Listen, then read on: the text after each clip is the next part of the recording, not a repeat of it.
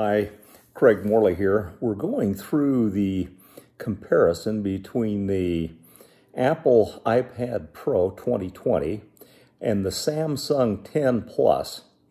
I have both of these devices. I like them both. The question is, if I'm going to pick one of the two, which one is the most practical as an appraisal tool in collecting data? So we're going to have some practical illustrations of the use of each of these two devices and the uh, comparison, and then you can decide. Okay, today we're comparing the Apple iPad as compared to the Note, the Samsung Note Plus, 10 Plus, which I have and I really like it. Uh, so I've got a, a, file that I've downloaded and uh, we're opening that up. And one of the things that I always do is put my complete work file in the uh, application in, in the file. So if I come down and see the little folder there, tap that, and then I open this up, it, it's downloaded all of the information for from the public records, which then gives me the sketch, which allows me to go in and make some notes to that. I'm going to take a picture or two. This is using just the standard camera setting for that. Now in this, I have to say yes, use the picture or not. Now let's say I want to retake that. I'm going to take this, and if I hit the little 1x, if I hit that, that's the wide angle. Gives me a wider shot. Now what I'm finding is the uh, iPad's wide angle is good. It's not as good as the, it's not as wide as the, uh, as the uh, Samsung. So I'm going to come back down to my county record. If I, I, in this one, in order to be able to edit it, I have to upload it. I've got to go find the app that I want to use, which is my Exodio. With the with the uh, Samsung, I don't have to do that. It just automatically has been identified as the application I'm going to use. So what I'm going to do is come over. I've got my handy little laser. I'm going to be able to measure across and determine. Now with this, I have to go in and identify that I want to put it in this edit mode. I measure across. It says it's 11 feet, 11 inches. I'm going to round it to 12. I can make that note right on my PDF. It saves it. So in this case, it's uh, 12, 22 feet, 9 inches, and I can make that. With the Apple iPad, it has a built-in measuring tool that's on the desktop. I'm demonstrating how this works. You mark the corner, you go across, and then uh, tap when you're done. It'll draw a little section to show you when you're there, and then it identifies the distance. Now you will notice that uh, when we had done that before, it was 11 feet 9 inches, which is probably just a rounding difference when you come across the front, even with uh, protrusions, I get to the corner, identify it, it uh, measures it, and it was exactly the same as what we had with the laser. So when we go and measure again from the corner to the inside wall, uh, you just walk over, you don't have to stand or pivot, identify the corner that you want, mark it, and it puts it, and I've got this little table that summarizes the, uh, the uh, dimensions that have been uh, obtained, and they work really good for being able to then go input that information into your sketch without having to use a laser. The thing that's nice is if doors are open or windows, it will still measure it accurately. With the uh, Android version of the measurement tool, it's pretty glitchy. I had all kinds of problems with it uh, dying, as you will see in just a little bit. Using the Total Mobile app for data collection with the Samsung Note 10 Plus has worked pretty well. We had shown on the Apple iPad how you can use the uh, text or the uh, PDF and make notes on the property. I actually like my Note Plus just a little better because uh, what it does is it allows me to be able to go in and draw more seamlessly. I don't have to upload the file. So if I'm, in this case, they've overlaid the basement with the main floor, so I can kind of sketch out. So I'm going to go downstairs and figure out the floor plan, and I want to get a little bit of an idea how this all works out. So I can kind of sketch this out so that I can make sure that I've got the, can diagram the the thing that's really nice is these things scale real easy. So you've got a bedroom here, you've got a bedroom here. I'm writing with my little stylus that comes with this. I've got a bathroom, I've got a mechanical room there, I've got a family room here. And then there's a storage room here. You've got the steps right here. And you've got another bedroom and a bath. And it's nice because you can make a few notes. This is the basement. Fortunately, you don't have to read my writing. I can try to figure it out. And then there's a little loft that uh, I need to diagram. And uh, so I can do that. And then have a little family room here. This comes over, got a bathroom and a bedroom. Now the nice thing is, is that you can make notes on this, and, and it's pretty easy to do that. And then when you're done, when you put your stylus back in the machine, it takes care of it. You tap it, hit the multi-level. I now come to that, and I can now go in and begin to take photos. Give you an idea what this is a standard mode on the Samsung, and it covers quite a bit of area. But if I want to go to the wide angle, I'm just going to go to the camera so that you can see the difference between... now, if you're looking on the right, there's three little icons. Again, that's the standard. If I hit the lower one, that will show you what the wide angle does, and it's really quite impressive. It's got an optical zoom for at the top, which will zoom it right in. But you look at that, this is your standard 1X. And then this is half of that, and it, it really picks up a lot of area.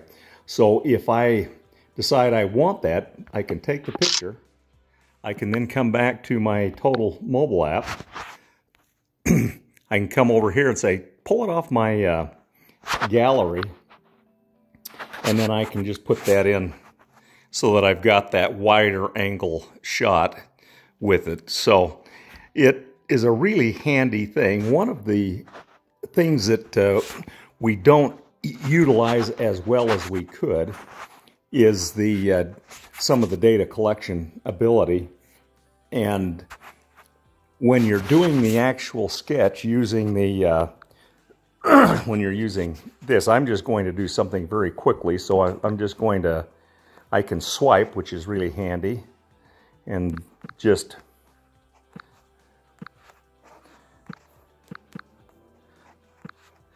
and then uh, get something that approximates some living space here. And so it's now asking. Okay, with that, I can now come and uh, say, okay, I want to move my cursor over here. I'm going to draw again and add two feet. Well, I want to activate that, so I'm going to hit enter, go two feet over. I'm going to go 24 feet down 30 feet. Now I'm going to go ahead and just swipe it up and close it.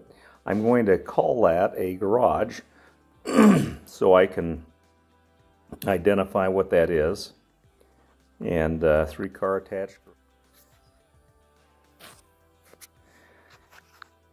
So with that, I can then uh, identify that. Now, if I come in and define these different spaces, I'm going to call put a dining room in.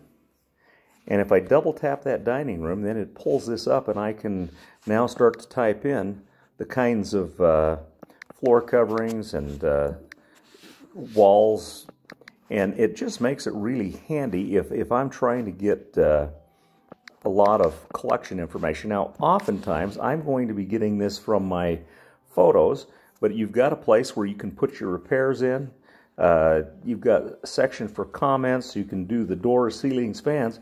But here's the beauty, is that I can now tap that and get a uh, get to where I can get a picture of the kitchen and it saves it and labels it, which is really nice. That's actually the kitchen instead of the dining room. So I so I don't like that. I can I can just retake it, say, okay, this is the dining room. And if I want to get another photo, say I've got a view out of the dining room, I want to get a picture of that so that I can identify a special characteristic, I can do that. If I want another picture that shows access out onto the deck or something, I can do that. And it labels all of those things in there so that it uh, is is, very handy in terms of trying to uh, get that taken care of. So that summarizes just a few of the characteristics that you've got with the Total Mobile app that you might find handy. Okay, I have downloaded the measurement tool uh, that is available on the App Store for the Android. Just going to use it as compared to the using of the uh, built-in measurement tool within the Apple iPhone. So we're going to tap that application. It says now first move around. It wants to be able to find some area to be able to do the recording. Now this is what happens to me when I use this is it dies frequently. So it's trying to find the spaces there. And, okay. So now what I'm going to do is I'm going to get to a point, I'm going to identify the corner, which is right there. I'm going to hit the plus. plus. I didn't get that exactly right. I'm going to come down and measure this. I'm finding the corner there hit it and see what it says. Okay, that was it. Says it's 247 inches. So now I'm going to come over here and hit the plus. Come over here. Now what you find is it does not like windows. So when I come in and hit this, and if I'm trying to measure across and I hit glass, it sometimes will not work. Okay. So, saying that was 73 inches. So let's measure it to see what the laser says it is. The laser says it's 6 feet 10 inches. So probably not too far off. But the problem I have is the application's really glitchy and drops off frequently. If you're in dark rooms or areas where there's not a lot of in, uh, not not a lot of light or there's not a lot of contrast, it has a really hard time getting that to work. So I come here, I find the corner, I hit the plus, I come over here, find the corner, check it,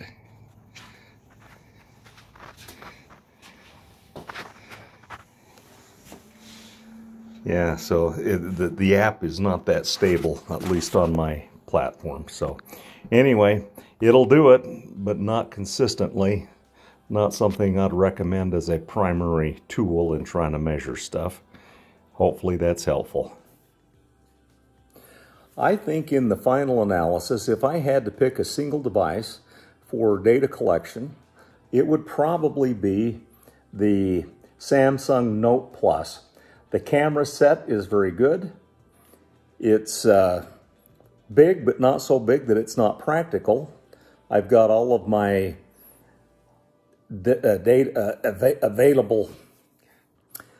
I have all of my apps that I can use for electronic lock boxes. I can search the MLS. Occasionally we'll get in situations where I need to find something and I can search the MLS. I've got it tied to my uh, web browsers so that I've got saved in favorites all of the uh, MLS systems that I routinely use, which then allows me to uh, look stuff up on the fly, which works really well. And while it's not as easy to see as the iPad, it's fairly functional. The iPad, on the other hand, is nice because you've got a bigger screen. It's easier to see. You've got some handles that you can put on that make it pretty easy to uh, take pictures, although taking photos out your car window with a tablet is a little less convenient than with the phone. And so between the two, they're both very good devices. There's things I like a little better about the iPad than the uh, Note Plus. But if I had to pick one that I was going to use all the time, it would be the Samsung Note Plus. Hope this is interesting for you, and uh, we'll be coming back at you with some new technologies on data collection on the next round.